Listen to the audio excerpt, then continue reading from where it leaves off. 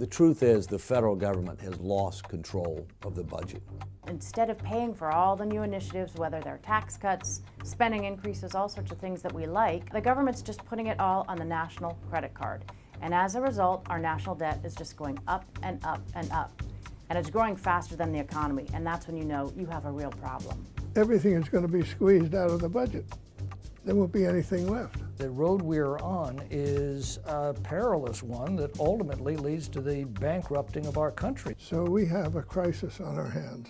All Congress has to do for this whole situation to come to a head is nothing. Because every year that they do nothing makes the problem even more unsolvable. We don't seem to have the ability to get along and, and find common ground. Is the government trying to trick you right now? And the answer is very simply yes. So why is this being swept under the rug? Why is nobody talking about this? Probably because it's not popular. So I've actually been traveling around the country for about four years now, taking the power of zero message to different groups. When you cut taxes on current generations, you are simultaneously raising them on future generations. It is all driven by spending.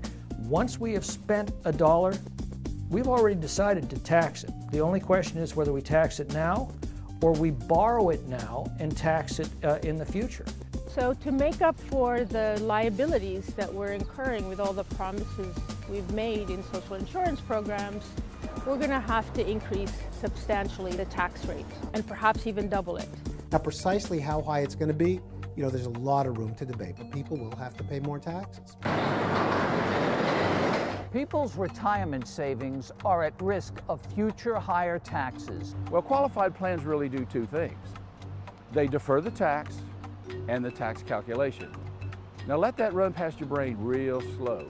I'm driven by trying to help as many people as I can avoid this disaster that's going to come up in retirement when taxes go up and the market goes down. What are these people going to do if they haven't planned ahead of time?